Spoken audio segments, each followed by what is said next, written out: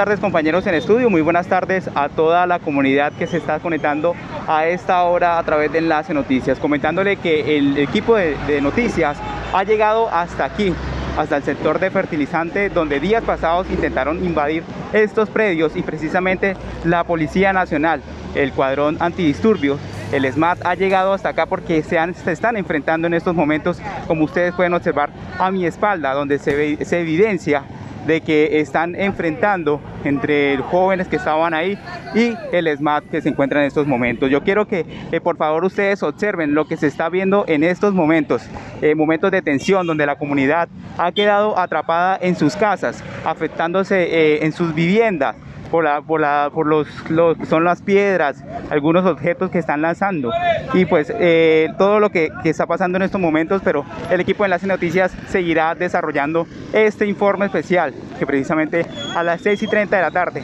ampliaremos estas noticias. Por el momento, esta es la información que se evidencia en el lugar. Sigan ustedes con más información en el estudio.